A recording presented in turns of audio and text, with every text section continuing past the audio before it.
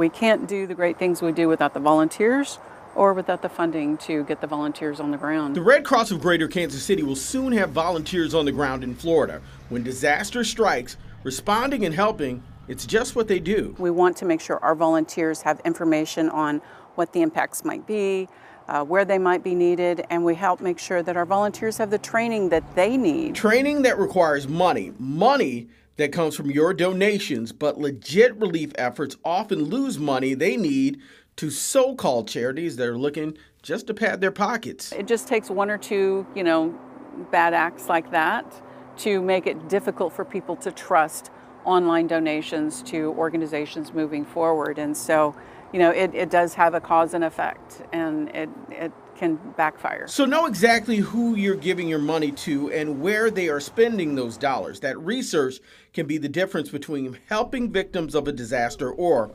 falling victim to a scam. I would be very cautious of any group or organization that stands up just for that particular disaster. That, you know, it may be very legitimate, it may be very valid, but again, do the homework.